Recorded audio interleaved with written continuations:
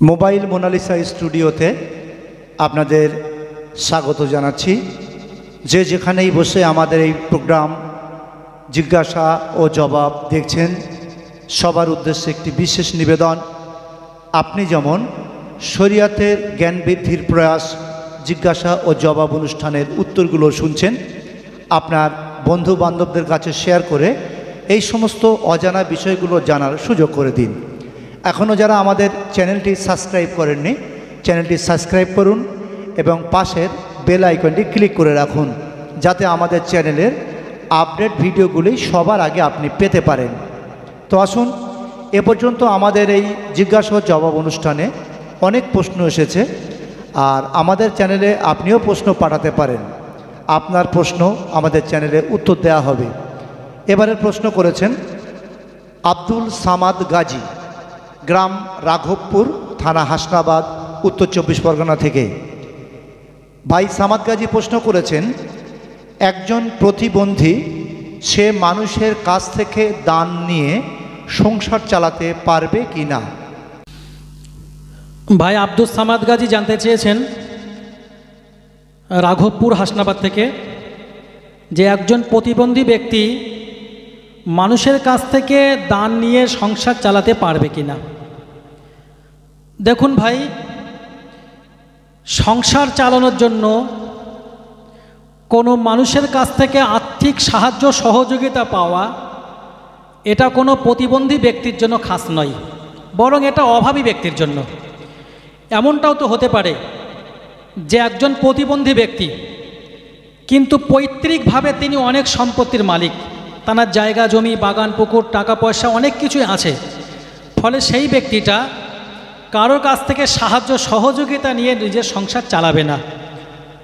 কিন্তু যদি এমনটা হয় যে একজন মানুষ অত্যন্ত অভাবী, আবার অপরদিকে সে প্রতিবন্ধী, না তার কোনো কাজ করার ক্ষমতা আছে এবং না তার সংসার চালানোর জন্য কোনো আর্থিক সহযোগিতাও আছে বা কোনো অর্থ করিও আছে, তো সেই ক্ষেত্রে ওই ব্যক্তিটা অন্যের সাহায্য নিয়ে সংসার চালাতে পারে। কিন্তু সাহায্য সহযোগিতা নেওয়ার জন্য প্রতিবন্ধী হওয়া সত্য নয়। আমরা হাদিস শরীফের ভিতরে পাই যা আর রজুল্ল মিনাল আনসার ইলান নবী সাল্লাহ আলহি ওয়াসাল্লাম ওয়াস আলুহু। এক আনসার ব্যক্তি নবীজির কাছে এসে কিছু সাহায্য চাইলেন। ফকলা রসুল্লাহ সাল্লা সাল্লাম আমাফি বাইতিকা সাইয়ুন তখন নবীজি বললেন, তুমি যে আমার কাছে সাহায্য চাইছো, তোমার বাড়িতে কি কিছু নেই? ফকলা, বালা। সে বলল, জি হুজুর, আমার বাড়িতে আছে কিছু। নবী বললেন, কি আছে? সে বলল, হিলসুন নালবাসু বা আদাহু আর নাসবুতু বা আদাহু আমার বাড়িতে একটা চাদর আছে, যার বা একটি কম্বল আছে, যার অর্ধেকটা অংশ বা কিছুটা অংশ আমরা বিছিয়ে দিই এবং কিছুটা অংশ আমরা গায়ে লাগাইয়ে দিই। ও কাবুর নাসাবু ফিহি মিনাল মা।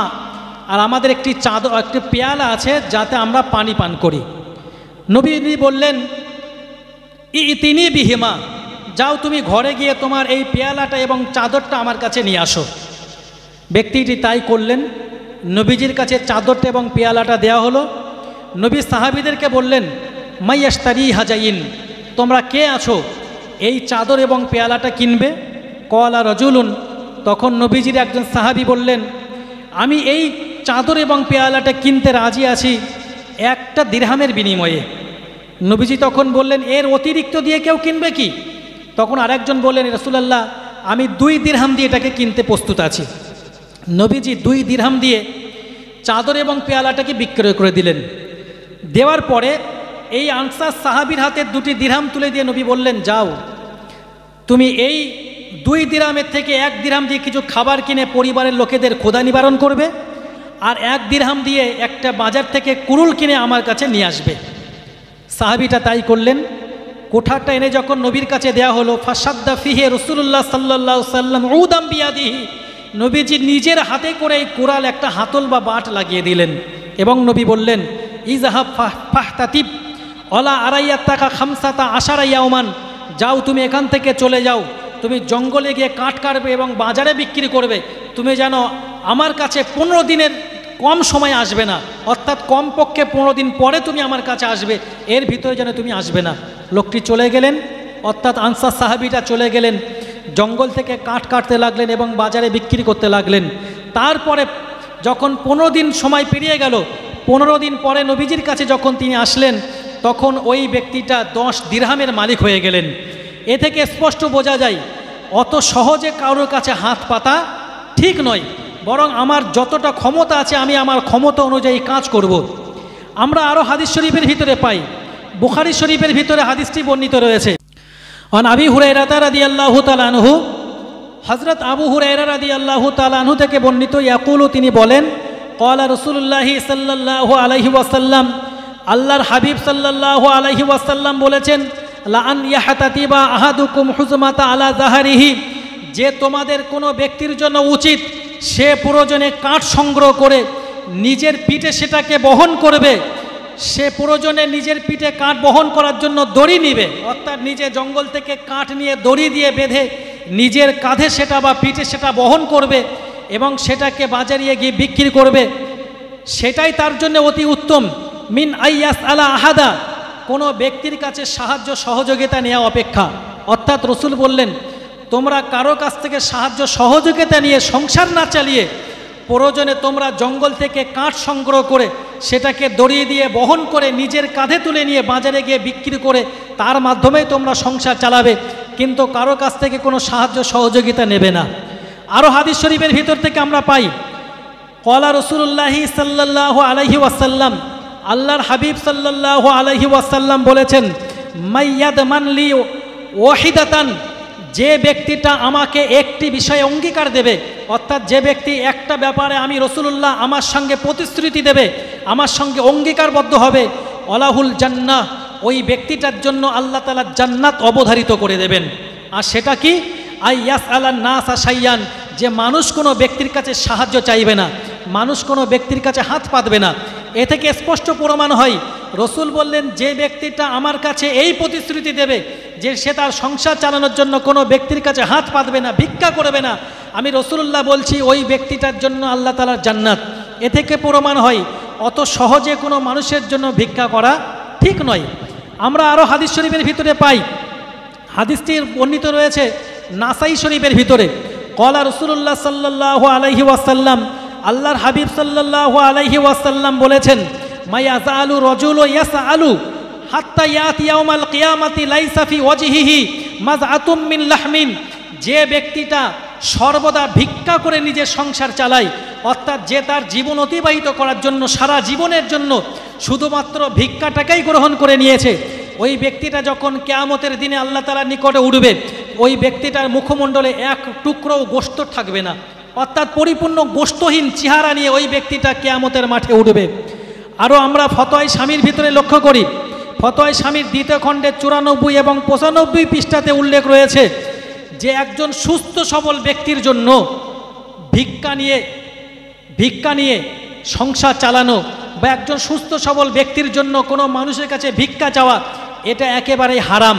আরও উল্লেখ রয়েছে যে ব্যক্তির ঘরে, যে ব্যক্তির ঘরে এক দিনের খাবার রয়েছে বা যে ব্যক্তির ঘরে এক সাজের খাবার রয়েছে ওই ব্যক্তিটার জন্য সাহায্য চাওয়া বা ভিক্ষে নেওয়া একেবারেই হারাম।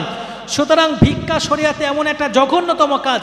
এই জঘন্যতম কাজের ব্যাপারে প্রত্যেকটা মানুষকে অত্যন্ত সতর্ক থাকতে হবে। ভাই, আপনি মনে রাখবেন, আমি আপনাকে পরিশেষে আবারও বলি, উল্লেখিত হাদিসগুলো থেকে আমরা এটাই বুঝতে পারি যে অত সহজে কোনো ব্যক্তির জন্য ভিক্ষা করা ঠিক নয়। বরং সেই ব্যক্তিটাই ভিক্ষা করতে পারবে, যার জন্য ভিক্ষা ছাড়া আর কোনো উপায় নেই। আরও হাদিস শরীফের ভিতরে আমরা পাই, রসুল জানিয়েছেন যে একমাত্র তিন শ্রেণির ব্যক্তি ভিক্ষা করতে পারে।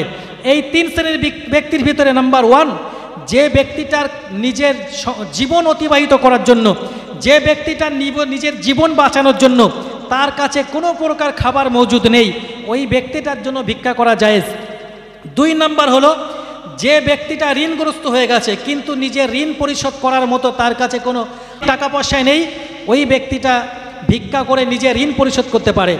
এবং যে ব্যক্তিটা অত্যন্ত রোগগ্রস্ত নিজের চিকিৎসা করার জন্য তার কাছে কোনো টাকা পয়সা নেই বা সহায় সম্পত্তি বিক্রি করে হলেও সে চিকিৎসা করবে এমন অবস্থা তার নেই, সেই ব্যক্তিটার জন্য ভিক্ষা করা বৈধ করা হয়েছে। তারপরেও রসুল এই হাদিসের ভিতরে জানিয়েছেন, যে ব্যক্তিটা ভিক্ষা করে, কেয়ামতের দিন যখন ওই ব্যক্তিটা কেয়ামতের মাঠে উঠবে, তখন তার চেহারার উপরে একটা চিহ্ন পড়বে। যে চিহ্নটা দেখে কেয়ামতের মাঠে লোকেরা বুঝবে যে এই ব্যক্তিটা দুনিয়াতে ভিক্ষা করত।